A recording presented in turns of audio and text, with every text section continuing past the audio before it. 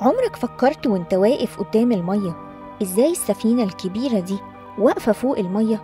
ولو رميت مسمار صغنن خالص هيغرق في البحر على طول. مع إن السفينة أتقل أكيد من المسمار لأن المسمار جسم مصمت والمية بتحوطه من كل ناحية. أما السفينة بتكون مجوفة ومفيش مية بتدخل فيها. تقدر تجرب ده بنفسك في البيت. استأذن ماما طبعا واطلب منها تساعدك. هات طبق كبير وملاه مية زي ما انت شايف في الفيديو كده. وهات علبة بلاستيك عادية خالص ومسمار.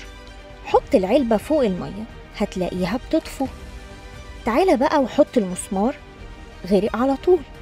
طب ليه ساعات السفن بتغرق؟ وإيه اللي خلى المهندس اللي بنى سفينة تايتانيك العظيمة قال إنها مش هتغرق أبدا؟ تعالى مع بعض نرجع تاني للتجربة بتاعتنا.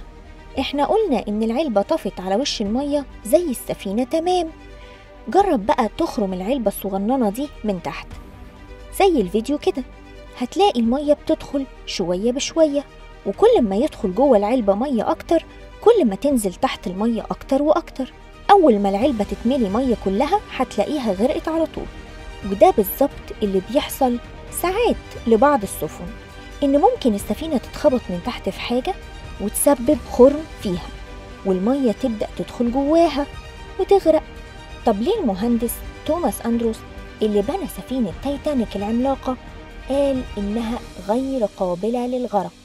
السبب إن السفينة دي لما اتبنت زمان كانت مصممة بطريقة حديثة جدا في الوقت بتاعهم وهي عبارة عن تقسيم قاع السفينة لغرف علشان لو واحدة اتخرمت واتملت مية ما تروحش لباقي السفينة.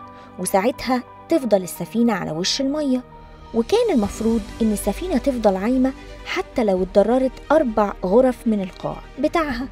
لكن للأسف اللي حصل إن السفينة خبطت من الجنب في جبل جليد عملاق وسبب لها فتحة كبيرة في أربع غرف من الجنب ملاها تماما بالمية. وساعتها بدأت المية تعلى جوه وتدخل على الغرفة الخامسة. وده للأسف اللي ما قدرتش سفينة تايتانيك العظيمة تستحمله وغرقت فعلا في أقل من ثلاث ساعات على الرغم إن هم أخدوا ثلاث سنين عشان يبنوها واختفت تماما في أعماق المحيط الأطلنطي سنة 1912